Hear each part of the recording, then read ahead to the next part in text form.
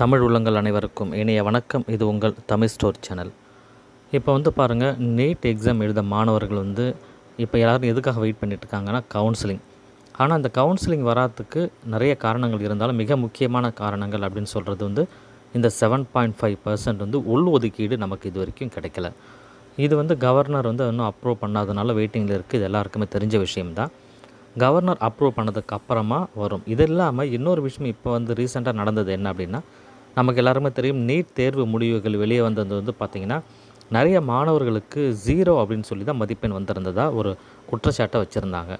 ஏன்னா இதிலே வந்து ஜீரோ வந்த மதிப்பெண் வந்த மாணவர் மாணவிகள் எல்லாருமே கிட்டத்தட்ட வந்து ப்ளஸ் டூவில் அறநூறு மதிப்பெண்ணுக்கு ஐநூறு ஐநூற்றி ஐம்பது அப்படின்னு சொல்லி எடுத்த மாணவர்கள் எப்படி வந்து நீட் தேர்வில் ஒரு மார்க் கூட இல்லாமல் ஜீரோவில் வருமா அப்படின்ற ஒரு கேள்விக்குறி இருக்குது இது இல்லாத என்டிஏ சார்பாக இப்போ என்ன சொல்லியிருக்காங்கன்னா ஏற்கனவே வெளிவந்த அந்த ஓஎம்ஆர் ஷீட்டை வச்சு தான் வந்து மாணவர்கள் கம்பேர் பண்ணி பார்த்துருக்காங்க.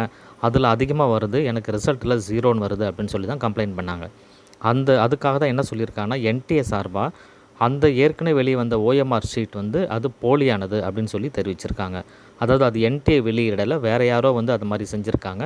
அதை பார்த்து மாணவர்கள் இந்த மாதிரிலாம் பண்ணியிருக்காங்க அப்படின்னு சொல்லி என்டிஏ சார்பாக சொல்லியிருக்காங்க. அதாவது ஃபைனலாக என்டிஏ பொறுத்த வரைக்கும் வந்து ரிசல்ட்டில் எந்த வித குளறுபடியும் கிடையாது. நாங்கள் வெளியிட்டதில் மிகச்சரியானது அப்படின்னு சொல்லி என்டிஏ சார்பாக இப்போ தெரிவிச்சிருக்காங்க. ஸோ இதை வச்சு பார்க்கும்பொழுது மாணவர்கள் அப்போ சரியாக எழுதலை அப்படின்னு தான் வந்து சொல்லப்படுது. இருந்தாலும் என்டிஏ வந்து தெளிவாக சொல்லியிருக்காங்க. நேற்று வந்து நம்ம எல்லாருக்குமே தெரிஞ்சிருக்க விஷயமா தான் கண்டிப்பாக இருக்கும். அதாவது அவங்க வெளியிட்ட ரிசல்ட்டில் எந்த விதமான குளறுபடியும் கிடையாது அப்படின்னு தெளிவாக தான் சொல்லியிருக்காங்க. பட் இருந்தாலும் கல்வியாளர்கள் மற்றும் பெற்றோர்கள் மாணவர்கள் எல்லாருமே வந்து இதை வந்து சட்ட ரீதியான இதில் நடவடிக்கை எடுக்கணும் அப்படின்னு சொல்லி தான் கோரிக்கையும் விடுச்சிருக்கா விடுத்திருக்காங்க. இப்போ என்ன நடக்குதுன்னு சொல்லி நம்ம பொறுத்திருந்தும் பார்க்கலாம்.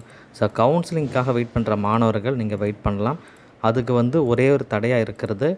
இப்போ வந்து ஒரு விஷயத்த இரண்டு தடை நான் சொன்னேன் ஒன்று வந்து seven point five percent reservation இன்னொன்று இந்த நீட்டோட குளறுபடி அப்படின்னு சொல்கிறது இப்போ என்டிஏ த தெளிவாக சொல்லியாச்சு.